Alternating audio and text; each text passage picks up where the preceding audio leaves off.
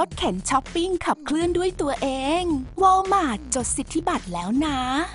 วอลมาร์ทได้จดสิทธิบัตรสำหรับระบบรถเข็นช้อปปิ้งที่ขับเคลื่อนได้ด้วยตัวเอง โดยรถเข็นช้อปปิ้งดังกล่าว จะถูกติดตั้งมอเตอร์ที่สามารถถอดออกได้ พร้อมกล้องวิดีโอและเซ็นเซอร์ ลูกค้าจะสามารถขอยืมรถเข็นได้ด้วยสมาร์ทโฟน ก่อนหน้านี้พนักงานของห้างมักจะต้องตามเก็บรถเข็นช้อปปิ้งจากสถานที่ต่างๆ ภายในห้าง แต่ระบบใหม่นี้ จะสามารถทำให้รถเข็นกลับไปที่จุดจอดโดยอัตโนมัติ ทั้งยังสามารถใช้ในการสต็อกสินค้าที่มีปริมาณไม่พอเพียงอีกด้วย